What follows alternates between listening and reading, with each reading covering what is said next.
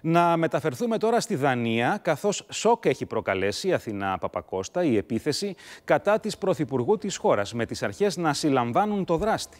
Χθες το βράδυ, η Δανή Πρωθυπουργός Μέτε Φρεντέριξεν δέχτηκε επίθεση από άγνωστο άνδρα στην καρδιά της Κοπενχάγης, ενώ έφευγε πεζή από προεκλογική συγκέντρωση του κόμματος των Σοσιαλδημοκρατών, του οποίου είναι επικεφαλής και ηγείται του κυβερνητικού συνασπισμού στη χώρα. Σύμφωνα με αυτόπτες μάρτυρες, άνδρας πλησίασε απειλητικά την 46χρονη Πρωθυπουργό της Δανίας και με το σώμα του την χτύπησε με δύναμη στον νόμο. Η ίδια, σύμφωνα πάντα με μαρτυρίες περαστικών, δεν έχει τραυματιστεί σοβαρά. Πηγές του στενού της περιβάλλοντος αναφέρουν ότι παραμένει σε σοκ με το γραφείο της να ανακοινώνει ότι υπέστη ελαφρύ αυγενικό διάστρεμα. Ένας άνδρας 39 ετών έχει συλληφθεί και αυτή την ώρα οδηγείται ενώπιον του ανακριτή. Προς το παρόν, ούτε η Φρεντέριξεν ούτε οι αρχές της Δανίας έχουν προβεί σε κάποια επίσημη ανακοίνωση με τα κίνητρα της επίθεσης να παραμένουν άγνωστα. Το περιστατικό για ένα προβληματισμό σε ολόκληρη την Ευρώπη. Η στιγμή είναι χρονικά περίεργη. Αύριο οι κάλπες ανοίγουν στη Δανία, ενώ πριν από δύο μήνες η πρωθυπουργός της χώρας είχε δώσει στη δημοσιότητα μηνύματα μίσους, προσβολές αλλά και απειλές που δεχόταν στα μέσα κοινωνικής δικτύωσης.